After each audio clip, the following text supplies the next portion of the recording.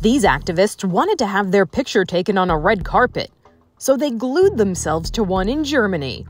It happened at the Berlin Film Festival.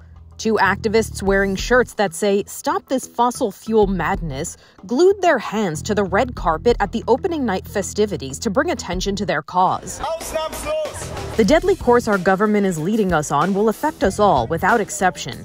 Every single one of you and every single one of us. Join us and stand in the way of this deadly course. Stand up for us for life, for we are here for the love of life.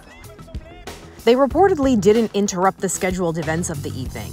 Activists have been pulling similar stunts all over the world, like at this museum in Australia, where two women glued their hands to Warhol paintings. We're in a climate emergency.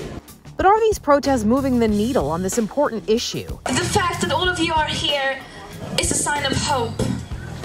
This is only a part of a much larger global climate movement, a movement for climate and social justice. A two year standoff by protesters who moved into the town of Lützerath to stop the expansion of a coal mine just ended in failure. Getting attention doesn't seem to be the problem, but action seems elusive. For Inside Edition Digital, I'm Mara Montalbano.